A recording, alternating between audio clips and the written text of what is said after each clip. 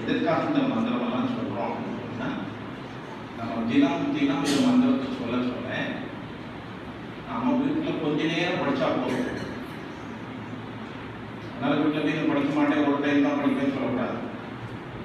பத்து ஒரு one hour படிச்சுட்டா நம்ம மூளைக்குள்ள பத்து மணி நேரம் படிச்சதுக்குரிய ஸ்ட்ரென்த்தை கொண்டு வர்றது மந்திரம். அதனால மந்திரத்தை டெய்லி சொல்லணும். இப்போ நம்ம பண்ணதை ஒரு மணி நேரம் ஐயோ நினைவு வரலையே அப்படின்னு சொன்னா அன்னைக்கு நான் ஒரு ஒரு குட்டி போன பார்த்தேன். உன் பேர் என்னன்னு கேட்டேன் அவன் பேர் சொன்னா. உங்க அப்பா பேர் என்ன அப்படின்னு கேட்டேன். அவன் அப்பா பேர் சொன்னா ரொம்ப யோசிக்கிறான். உடனே அவன் தன்னுடைய தலையிலேயே தானே குட்டிக்கிறான்.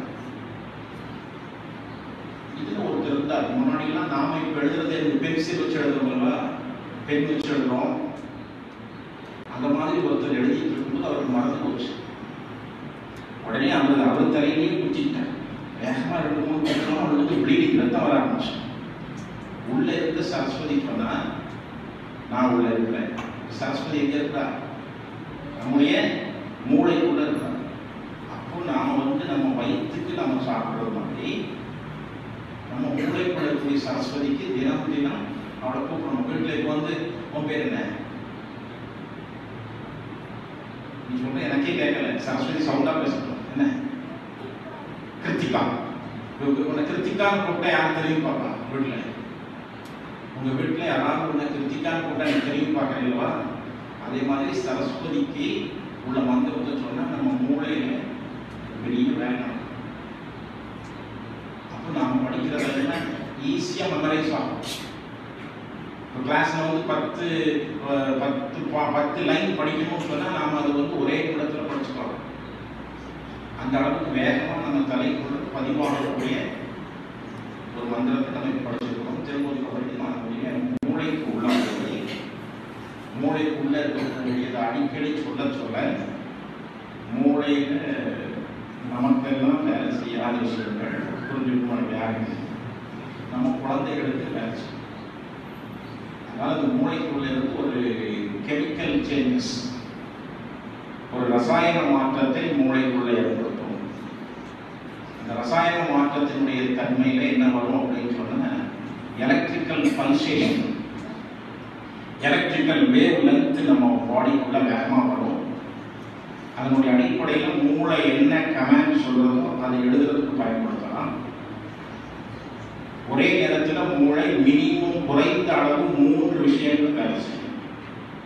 ஒன்று நம்ம என்ன எழுத போறோம் அப்படிங்கிறத நினைக்கும் இன்னொன்று எழுதிட்டே இருக்கும் இன்னொன்று நாம் படித்த புத்தகத்தில் உள்ள விஷயங்கள் எல்லாம் ஃபோட்டோ மெமரி ஃபோட்டோ மெமரினா என்ன அப்படின்னு சொன்னால் அப்படி புக்கை அப்படி திறந்து பார்க்குறீங்கன்னா புக்கில் ஃபஸ்ட்டு பேராகிராஃப் என்ன?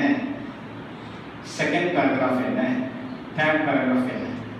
லெஃப்ட் சைடு என்ன இருக்குது ரைட் சைடு என்ன இருக்குங்கிறது அப்படியே பிரிண்ட் ஆகும் அப்போ எக்ஸாமினேஷனில் போய் உட்கார்ந்த உடனே நம்ம பெண் எடுத்த உடனே எழுதுவோம்.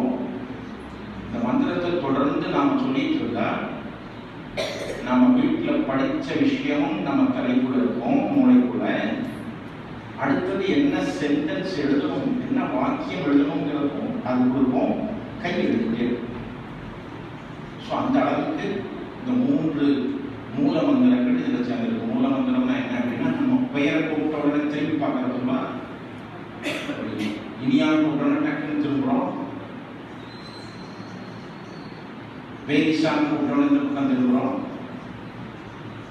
குடிதான் கூப்பிட்டோன்னு பேக் சைடில் அப்பா நிற்கிறாரான்னு பார்க்குறோம் கீர்த்தி ஸ்ரீ சொன்னோடனே உங்கள் அப்பா இங்கே இருக்கிறாரு இதெல்லாம் நம்முடைய பெயரை கூப்பிட்டா நம்ம திரும்பி பார்க்கறது மாதிரி நம்முடைய நினைவாற்றல் நினைவாற்றலுக்கு ஒன்று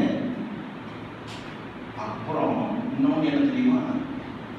ப்ரெசன்ஸ் ஆஃப் மைண்ட் நாம் என்ன வேலை செய்கிறோமோ அதில் நம்ம வேலை செய்யணும் சாப்பிட்றோம்னா சாப்பிட்டே இருக்கணும் அதாவது ஃபுல்லாக சாப்பிட்டு ஒரு மனுஷன் ரெண்டு மனுஷன் ஆயிடக்கூடாது புரிஞ்சிருக்கும் நினைக்கிறேன். இன்னும் குண்டாயிடக்கூடாது அப்போ சாப்பிடும்போது அதில் எழுதணும் அப்போ எழுதும்போது அதையே நினைத்து கொண்டு எழுதணும். அதுக்கு ஒன்று பாருங்க.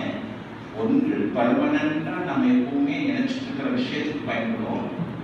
இன்னும் ப்ரெசன்ட்ல நாம் இருக்கிறதுக்கு பயன்படும். இப்போ உட்காந்துருக்குறோம் எதுக்கு வந்துருக்குறோம் அப்படின்னு தெரியும்.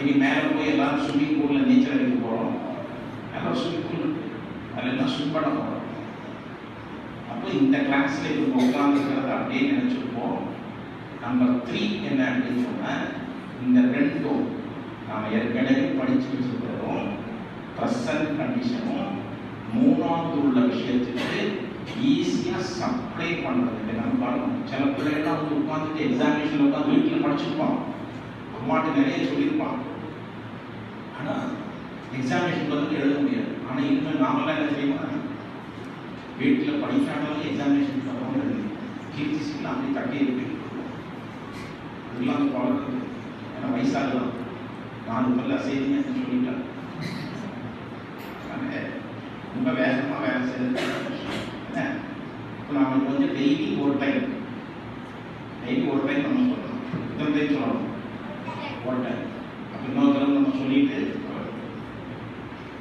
ஹரி ஓம் பின்னாடி ரெண்டு பேர் படிச்சவங்க இருக்கிறாங்க யார் ரெண்டு பேர் ஃப்ரெண்ட் வந்துருக்காரு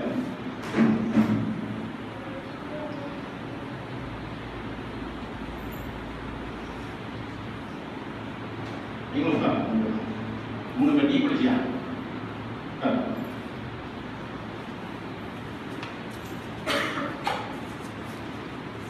ஹரி ஓம் கை எல்லாம் எந்த வைக்க வேண்டாம் நம்ம சொன்னேன் அந்த மியூசிக்கல் டோன்ல பேசுவோமா இப்போ சரஸ்வதி கையில் ஒரு மியூசிக்கல் இன்ஸ்ட்ருமெண்ட் வச்சிருப்பா. என்ன இன்ஸ்ட்ருமெண்ட் கிட்டா. வெரி அது பேர் என்னன்னா வீணை. வீணைன்னு சொல்றது என்னன்னா வீணை எப்படி இருக்கும். பார்த்துருக்கியா? கிட்டார் நீ பார்த்த கிட்டார் வந்து பேக் சைடில் ஒரு சைடில் விரிஞ்சிருக்கா? அப்படிதான் இருக்கும்.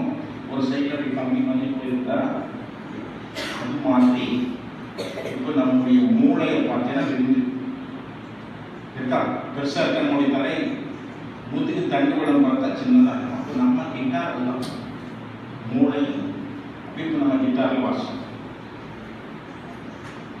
அறிவோ